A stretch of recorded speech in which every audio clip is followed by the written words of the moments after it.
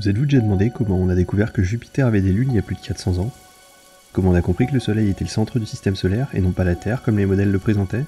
C'est en grande partie grâce à l'observation du ciel, au travers de lunettes astronomiques et de télescopes.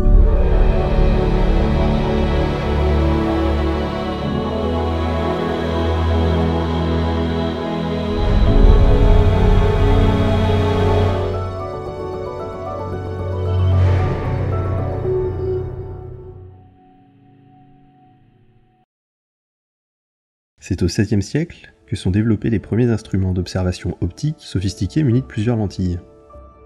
Le premier d'entre eux, la longue vue, a permis de grandir l'image et de faire les premières observations du cosmos. À cette époque, Galilée s'en empare afin d'observer le ciel nocturne. Ses premières observations le tournent vers Jupiter. Il remarque que d'un soir sur l'autre, des points lumineux apparaissent et disparaissent de part et d'autre de Jupiter. Il devine que ces points sont mobiles et qu'il s'agit de corps en orbite autour de la géante gazeuse.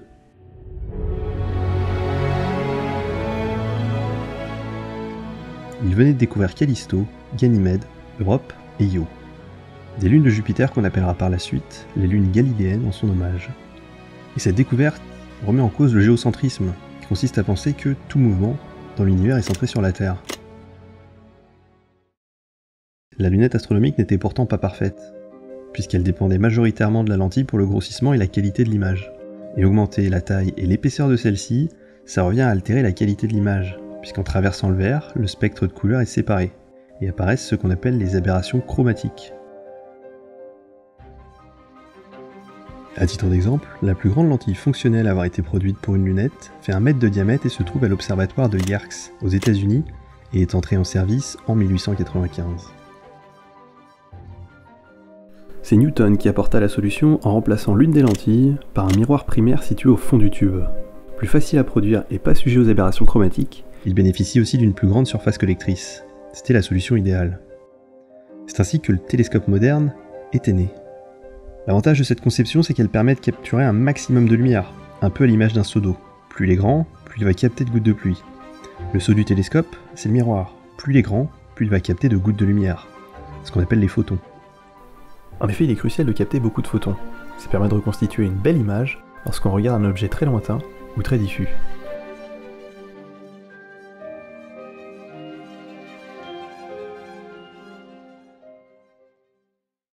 Mais le domaine du visible, ce n'est qu'une toute petite partie du spectre électromagnétique. La majeure partie de ces rayonnements, qui s'étendent des rayons gamma jusqu'aux ondes radio, couvre une plage beaucoup plus importante du spectre qui n'est pas observable à l'œil nu. Et certains phénomènes du cosmos ne sont observables que sous ces longueurs d'onde bien particulières. Par exemple, si on veut observer une galaxie qui est occultée par un nuage interstellaire, en passant dans l'infrarouge, on est capable de voir à travers de celui-ci, car le rayonnement infrarouge est peu absorbé par la poussière. Mais attention, toutes les longueurs d'onde ne sont pas observables depuis la Terre, puisque certaines de ces longueurs d'onde sont absorbées par l'atmosphère. C'est le cas par exemple des infrarouges et des ultraviolets. Et heureusement d'ailleurs, car haute dose, certains de ces rayons peuvent être un danger pour la vie, et l'atmosphère fait office de barrière protectrice. Et donc comment on fait pour observer ces longueurs d'onde? Eh bien on place le télescope en dehors de l'atmosphère. Hubble par exemple est capable d'observer de 200 nanomètres à 2500 nanomètres, grâce à ces différents instruments. Ça couvre une très grande partie du spectre allant de l'ultraviolet jusqu'à l'infrarouge en passant par les lumières visibles. Quant à James Webb, le futur télescope de la NASA qui sera lancé en 2021, s'il n'est pas de nouveau retardé, se focalisera sur l'infrarouge et pourra épauler Hubble dans ses observations, si Hubble est toujours fonctionnel d'ici là. Il sera équipé du plus grand miroir principal en orbite, composé de 18 segments, il fera 6,5 mètres de diamètre contre 2,4 pour Hubble. Pour comparer, sur Terre, le plus grand miroir principal sera celui de l'Extremely Large Telescope, avec 39 mètres de diamètre et près de 800 segments. Ce télescope sera construit au Chili en haute altitude.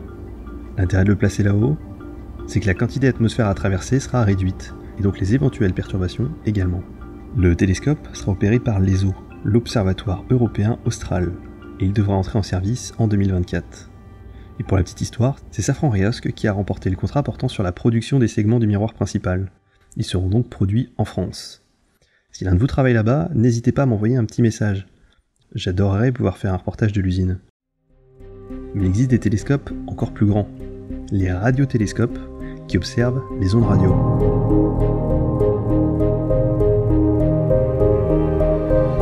Les ondes radio ne sont pas, euh, sont pas réfléchies par l'atmosphère, donc on peut très bien euh, y absorber, on peut très bien faire ça depuis le sol sans aucun problème.